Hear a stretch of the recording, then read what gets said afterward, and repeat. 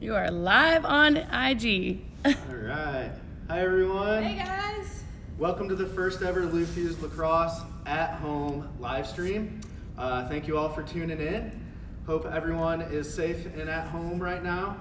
Uh, we miss you guys a whole lot, and we can't wait to be back on the field with you guys very soon. Um, quick introduction. I think most of you guys know who I am. I'm Coach Dylan. I run the Lou Fusz Lacrosse program, but I have an awesome special guest with us here today. Coach Natalie, I'm the Director of Girls Development here. We are we're super excited um, to come to you every Tuesday and Thursday at 1 p.m. and give you guys a, a nice little 45 minute workout um, that you guys can either follow along and do from home or watch at a later time on YouTube and do, um, or just take bits and pieces and work on your own um, doing these things. Uh, so make sure you tune in every Tuesday and Thursday. Um, we'll be having this going on. Also check your inboxes as we've sent out detailed plans where um, they consist of, of six day workouts um, with one day off a week. So hopefully you guys are still keeping your stick, bodies, mind, everything in shape as we're at home. Um, so to get now, get down to it. So we're gonna have 45 minutes here today. Uh, it's gonna be broken up into three different sections. Uh, the first one will be stick work. That's gonna be 15 minutes. The second is gonna be dodging and footwork. That's gonna be 15 minutes. And then the third one is gonna be some of our favorite wall ball routines and how you can practice uh, hitting the wall. These first two 15 minutes though are things you can do in a small space. Whether you only have three feet, you have 10 feet, 12 feet to work with, these are things you can do in small spaces, even while it's rainy outside. So to start off, um, let's start by talking about stick work. So stick work, as most of you lacrosse players know, is probably the most important fundamental um, in lacrosse. Uh, being good with your stick makes you go from being a good player to a great player. It's, uh, it's truly the great separator. You could maybe not be the biggest, strongest, or fastest, but if you have great stick work, it's what is going to elevate you to that next level.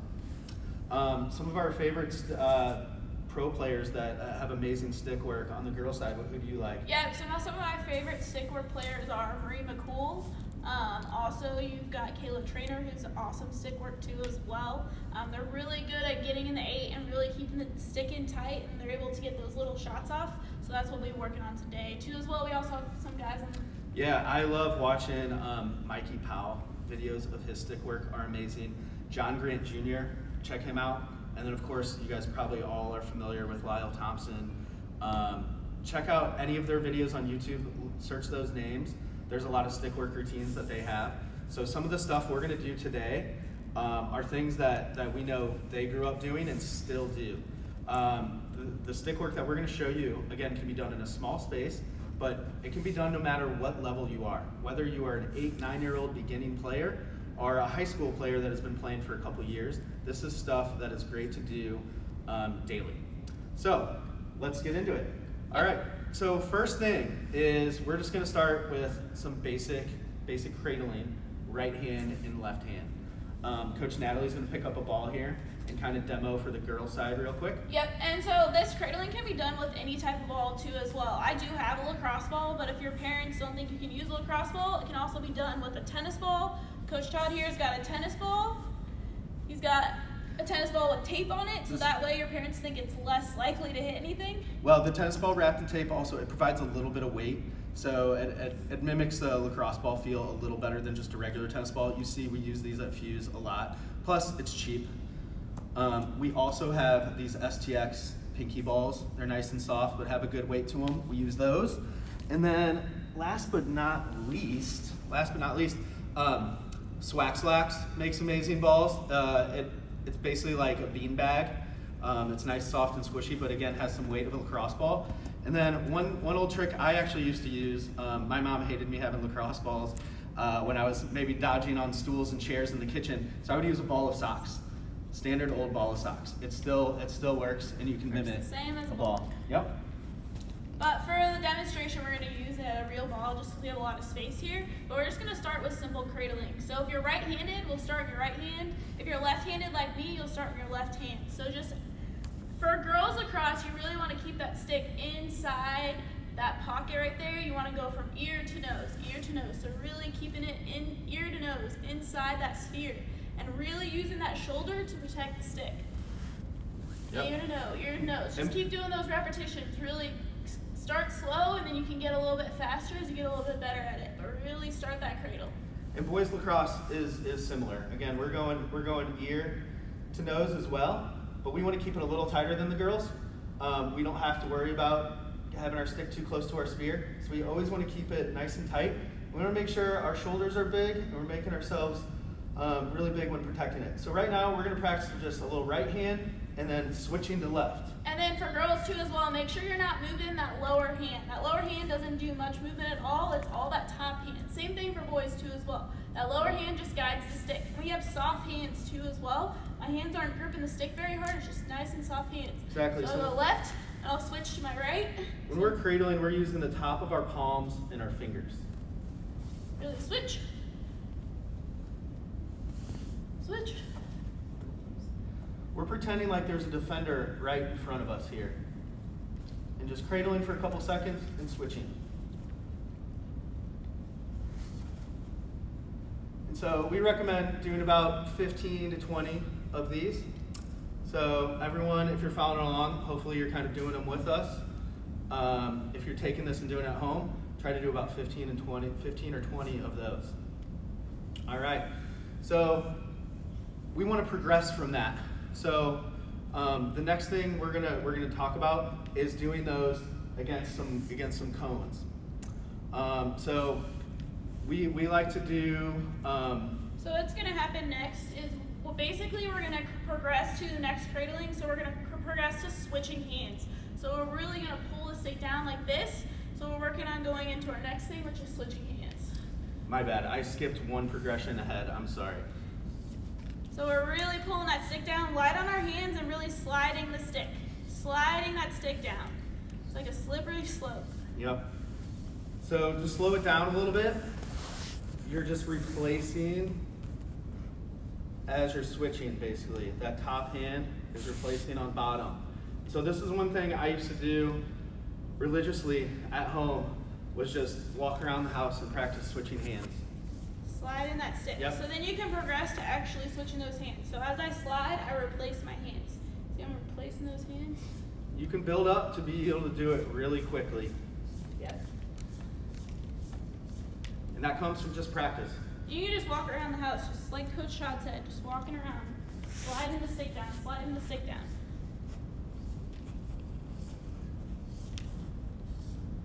Awesome. So now we're gonna move on to something just a little bit more advanced and still working on soft hands. So we're gonna call it finger taps. I don't know if you guys have played basketball, but it's where you tap them. So you're gonna we're gonna go one like this, finger taps, just tapping the stick back and forth, back and So forth. again, this is good practice for just using soft hands, our, our fingers and our palms. So you're not trying to grip it to death, right? You're basically just using your fingers and palms and going back and forth. And again, you can start slow and work up to where you go super quick. Super And you can fast. do this in a, Nice in a one foot spot. It's nice and easy, nice and easy. Light on the hands. Make sure that you're trying to keep your feet in the same place too as well. You're not moving all over the place. And then just as we did with our cradling, we're gonna turn our shoulder and try to do it from the side.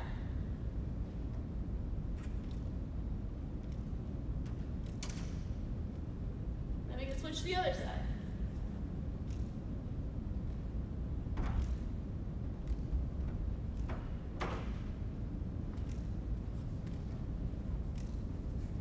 No matter what level you're at, you should be able to do this. Yep, it's definitely something you can progress up to. If it's not something you can do now, it's definitely something you can keep working on. So now we're gonna go into a little bit more of just keeping the stick in the same place at the same time. So we're just gonna go having it go up and down, just little, little hot, little throws right here. So practicing stuff with one hand is a great way to get your control down. Um, and again, it helps with soft hands. It builds your wrist strength. So just So we're starting with our right hand, our strong hand right now. We're both righties. And we're, we're all, oh, I'm sorry, Natalie's the left hand. I'm starting with my right hand. And I'm gonna do about 20 of these. And so it's just on our strong. basically flipping it up only about a foot. And then we'll switch to our weekend. I know it might be difficult for you at some point, but just nice, easy throws with that offhand. Nice and easy throws, nice and controlled. Controlled is what you're looking for. So it's almost like you're doing a little one-handed quick stick up and down. So see how our wrists are kind of giving when we're catching it? And then flipping it up, nice and controlled. So do about 20 of those as well. Next thing is we're gonna progress to higher flips. So we realize some of you guys might not have as high ceilings as we have here. Um, this is probably recommended to do more outside, but again, if you're using a soccer ball or anything, you shouldn't shouldn't have to worry about it too much. But just a little higher flip, a little more exaggerated. You're still not moving your feet. Your feet are still planted. But notice how Coach Natalie and I are catching it very softly, and then immediately it's coming back up. There's no delay, and after we're catching it. And we'll switch that weekend.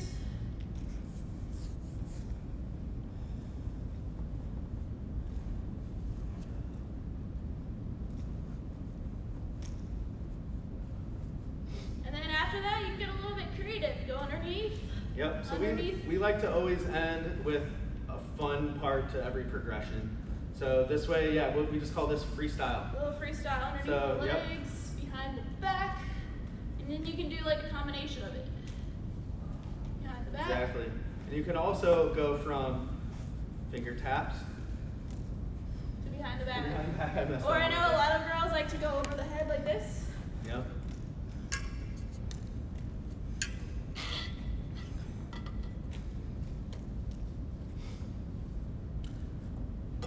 So that's our fun uh, little stick work progression. That's something that you guys can, again, just do as you're walking through your house, as you're watching your favorite movie. You could be watching something and doing that and still getting in some good work. Um, so next thing, we're gonna move on to footwork and dodging.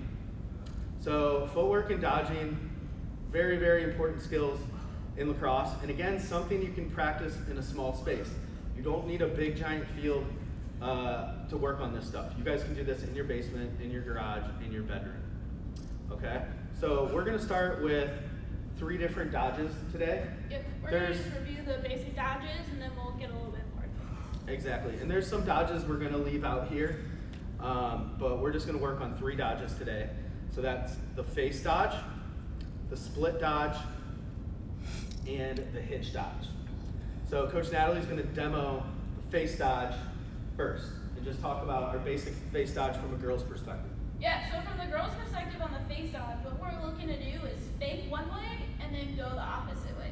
So for all you right-handers out there, you should start with the ball in your right hand. And as you come up, if you have two cones, make sure you put the two cones together.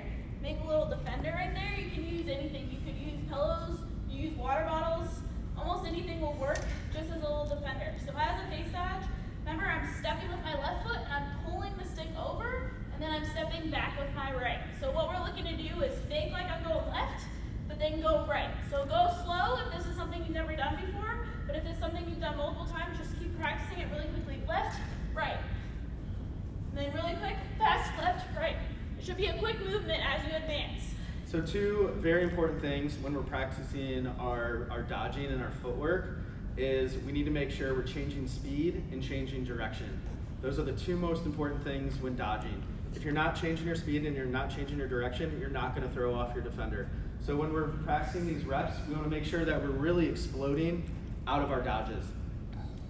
So again, show us another face dodge. So again, the dodge can be slow, but coming out of the dodge is where you need to be quick. That first step is your step around that defender. So it's left, right, and then moving around. We'll let Coach Todd Perfect. Same well. thing with boys.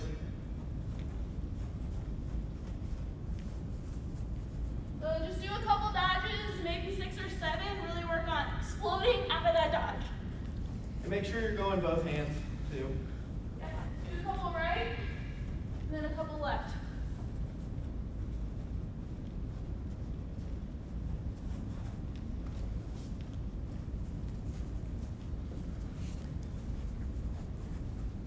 All right, now we're gonna move on to the split dodge. I think the split dodge is probably the most important dodge in lacrosse. So the split dodge is being able to switch from right to left or from left to right. Um, very important that you're, that you're able to use both hands no matter what level you're at. So um, that's what some of the stuff we were working on with our stick work progression. Now we're carrying it up here into dodging. So Natalie's gonna do a split dodge for girls. Yep, and just to add to what Coach Todd said too as well, we're really using that shoulder to protect the stick as we're switching hands. So we're we're using a shoulder, and then I'm bringing my left hand in. So really right to left, dropping it low, and then on my left. My favorite split dodge is setting up like you're gonna go left and then splitting right. I want that right-handed shot. So I like to come up, take a step like I'm going towards the left, and then I'm exploding to the right. And again, shoulder, shoulder, stick, where my defense would be. Yep, and Coach Todd was using that shoulder the stick. So a little faster speed. You're really settling like you're going left, but then you're going right. Yep. And make sure you're also practicing your other side. So start right, plant, switch left.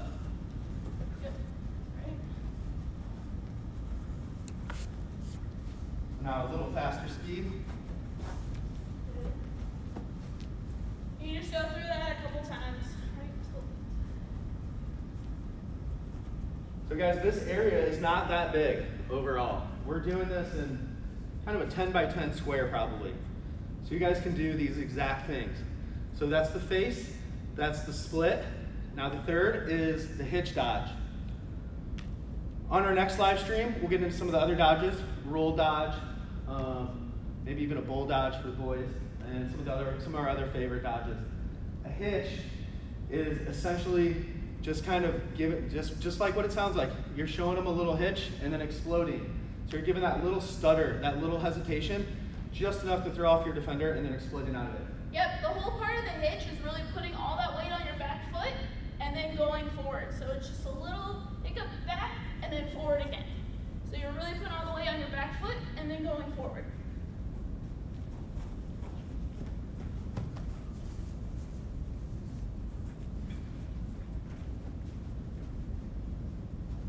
Again, both sides.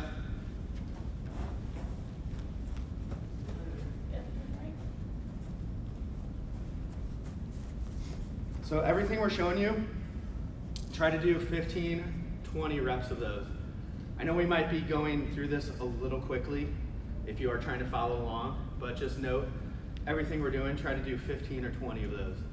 And if you're having trouble with maybe one side or the other, try to focus a little more on what you're having trouble with. You guys know what you need to work on as lacrosse players, so work on what you need to work on. If you're feeling good about maybe doing one side, like your right, your strong hand, your right side, let's say, focus more on your left. Maybe up the up the uh, the reps on that side. Yeah, and this video will also be posted on YouTube as well. So if you miss something, you'll be able to go back and see it again too as well. So don't worry if you miss something, you have to skip over something. Yep. And the live link is um, it'll be online for 24 hours too. So please share, please show. All right. So that's the face split hitch, just with two cones. So next we're gonna um, show you a different progression with two cones, two things we can do. So we're gonna show you basically four different things you can do with only two cones in a small space. You can also do some of this stuff with a partner too as well if you have a partner. Bring them a little closer, a little closer together. There you go. So these are only about five, six feet apart right here. So we're gonna be doing our same three dodges. We're just gonna be doing them in different combinations now. So this next thing is what we call combination dodging. So Coach Natalie is gonna start with a split and then go into a face dodge. Okay, yep. So I'll split here, and then I'll do a face dodge here. So it's one after the other. So we're just progressing, getting better at those dodges. Face dodge, Split. and then split dodge. Split then face. You're splitting. It also makes you think too. It makes you think, Yep. knowing what you're gonna do before you get to the thing. Split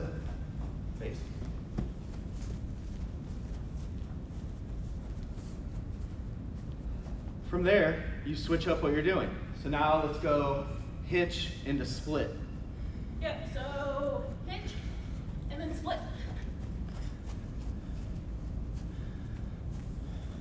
Hitch,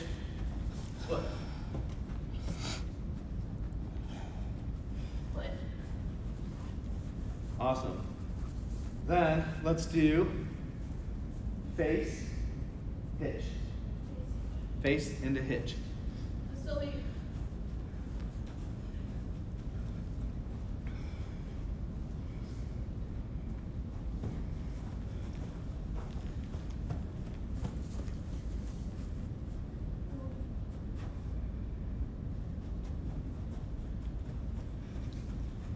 Again, small area, just two cones. Change it up. Go, there, there's endless combinations basically of what you can do. You can also start too as well. You can start with the ball up in the air, catch it, face, hitch, and then go back. Just challenge yourself a little bit more. Yeah, so this, this that might be tougher for some of the beginning players, but very important for older players. Always train like you're in a game, you're doing it at game speed. So starting with that flip to yourself is simulating like you're getting a, a catch or, or getting a pass. All right, next progression. Um, so stagger the cones. There you go. So now, as you can see, we just have the cones staggered. So again, still two cones set up. Now we're staggering them, and we're gonna work on our dodging into pulling out and then re-dodging. In lacrosse, all offense always starts with a dodge, right? But sometimes the defense is maybe forcing you one way where you don't want to go and are forcing you into a double team, where then you need to pull out and then look for a way to re-dodge. So that's what we're practicing right here. So we're staggering the cones, again, only about five feet apart. So these are simulating the defense. So we're gonna be dodging off the first cone, pulling back out, and then re-dodging. Yep, so if I come in here, I might do the face dodge, get denied, and then have to pull out. I'm always pulling out at an angle, so that way I'm pulling out the fender, and then I'm gonna re-attack at a different spot. You never wanna pull out and then re-attack the same spot, because the fender's just waiting there already for you. You wanna force the defender to move, and that way you hopefully can go around them. So here, pulling out at an angle, and then face dodge at a different angle. So you're attacking, pulling out, re-dodging. And it's all quick, quick, quick. You've gotta be quick. Lacrosse is a quick sport. So try to get a good 10 reps in doing this, making sure you're using, again, both, both sides. So 10 reps with your left, 10 reps with your right. And change it up a little bit to where one, one of those reps, you're practicing the split dodge as your, as your re-dodge. Maybe the, the next set of reps, you're practicing the face dodge as your re-dodge. Again, work on what you need to work on. You guys know what, what needs work. Now we're gonna put the cones together again. We're gonna do some figure eights. Yep. What's that little cross? Okay, alright. Boom. So they're about six feet apart here, I would say. So um, you can do a ton of different things with, with what we call figure eights.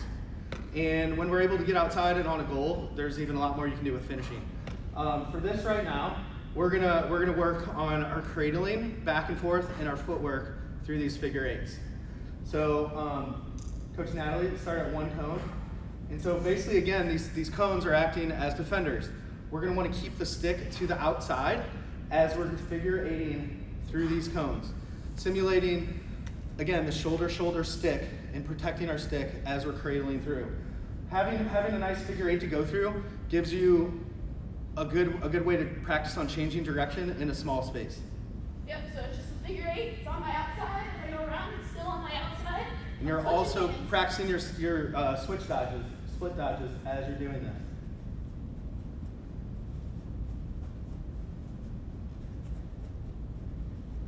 Just going back Awesome. and forth, but always keeping that hand on the outside. There's some fun little progressions that you can do with this too, where you can add in a ground ball. So you're starting, picking up the ground ball, going around the outside, laying it back down, around the outside, picking it up again, outside, laying it down, back and forth, back and forth. working on your explosiveness, your change of direction, um, all that sort of stuff, and stick protection, which is which is the most valuable part of this drill. Yep. Um, all right, so you can also, once you get outside too and have a partner to work with, uh, do some fun progressions with this with a partner. So we're going to show you that real quick. I'm going to give the partner that Natalie is going to pass to. So she's going to go through her figure eights, give me a feed, I'll be passing back to her. And she'll be catching, going through. Ball. Yep. Oh. Yep. Ball. Yep. Ball. Just like that. And that, that partner could be rolling ground balls, picking them up, going through figure eights, passing through figure eights, all that sort of stuff. Fun, simple, in a small space, very easy to do. Um, so that, that concludes our two cone footwork dodging section uh, of the live stream. And we're gonna finish with doing some stuff with on, on the wall. So give us one second, we're gonna adjust the camera over here for the wall.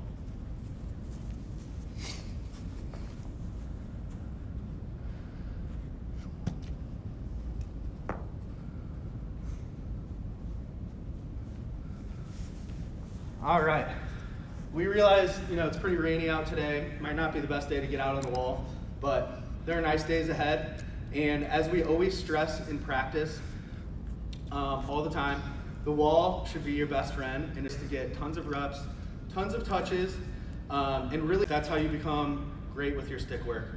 I can't tell you how many countless hours I put put in at the, on, on the wall. Um, there was a school about a mile away from my house, and so uh, every day after school, I would, I would run about a mile with my stick, with my ball to the wall, put in about a half an hour to an hour of wall ball, and then run home. And that was, that was my off-season training. And it got me really good. So um, we're gonna show some of our favorite wall ball routines. We're gonna start kind of simply and then work our way up. So if you are a beginning player and maybe struggling with um, doing the basic wall ball stuff, just stick with that master that before you move on to the tougher progressions. Yep, so we'll start with just basic left and right. So you'll start with your strong hand, just bringing it back. Make sure you're pulling all the ball all the way back. If you're a girl, make sure you're asking for it out front and then pulling it back. Give it a nice cradle. And when we step, we step with our opposite foot. So if you're in your left hand, you're stepping with your right. If you're in your right hand, you're stepping with your left. The thing a lot of people don't realize when they're doing wall ball is they develop a lot of bad habits because they are not stepping with the ball and putting all the motion into your throw. So really make sure you're stepping with that foot and then you're really asking for it out front when you're pulling it back. So just simple 25 to 50, just depending on your level, pulling it back, cradle, stepping into it, pulling it back, cradle. Keeping our eye on the ball the entire time. This goes for boys and girls, same thing.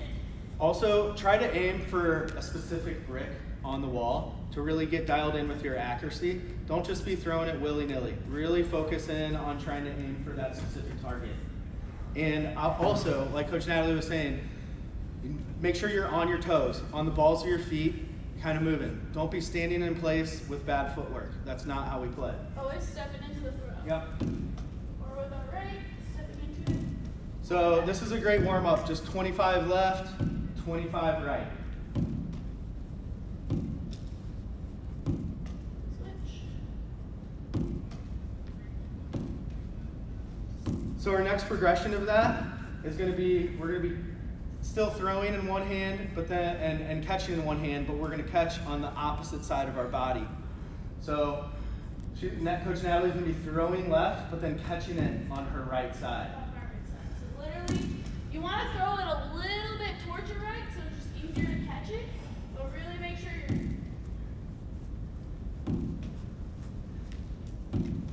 Cool, and then switch to your right hand. In my right. And now she's going right and catching right. Even coaches drop balls sometimes, it's all right. Pick it back up and continue. So she's catching it on the opposite side. So as we all know, you don't always get that perfect pass in a game. So this is simulating catching a, a pass that's maybe slightly off and working at that.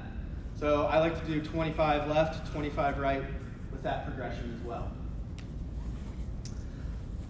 Then your next one is going to be what we call throwing across the body. So as I'm stepping into it, I'm moving the ball over and I'm throwing it off the body. So really, but you're still catching it the same. So it's forcing you to readjust your stick. So throwing it like this, or like this, which I know is, is kind of an awkward throw, and not something you're necessarily gonna gonna be using in a game. But again, this is this is working on catching and throwing in all different angles, um, and and you know because in a game you you get passes to you in a lot of different ways, and so this helps with just overall control um, with your stick and your body in your hands. So continue to do that a little bit more. Yep, so throwing it up. So you're still throwing normally, but you're just catching, throwing it over across your body. So as I move it, I move it over, throwing it off.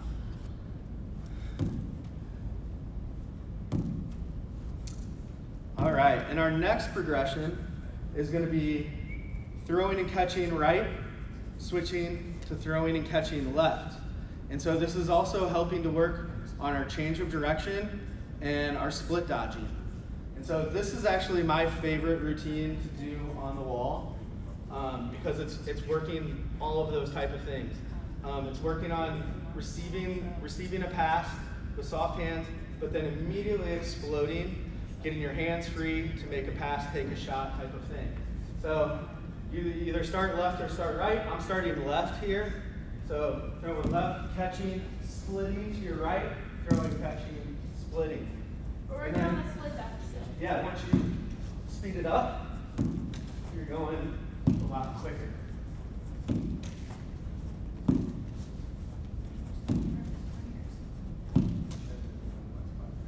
Nice.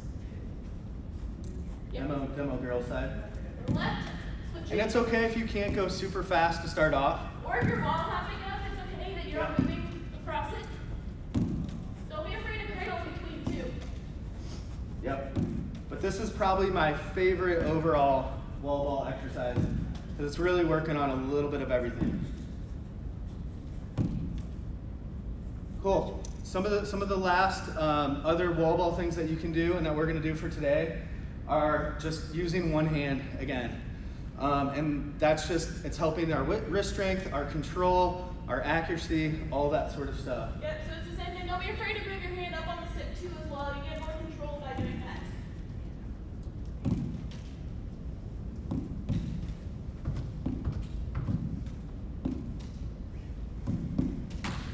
It really makes you focus in on the, the proper fundamentals of catching and throwing as well. Um, because you, if you're doing it with improper form, you're not going to be able to do it. The ball is going to bounce out of your stick. It's not going to throw properly. So really get that arm up. You're really rotating your body. And I, I recommend having your top hand kind of right in the middle of your stick. That's why I have this little piece of tape right here. That's where I want my top hand. And he's rotating his whole body through. Rotating his whole body as he. Then she's, he's still asking for it out front, pulling it back.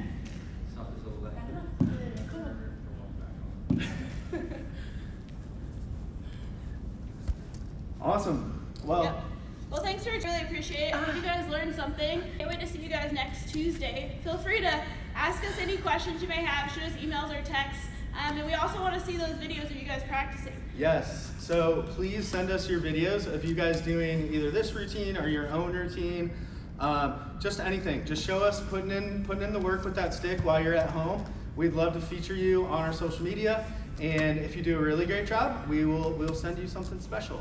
Uh, we have some cool giveaways that we that we want to do, but we want to see that you guys are doing the work first. So please please show us. Um, and again, give us any feedback on how we can um, make this better and do more things that maybe you want to see.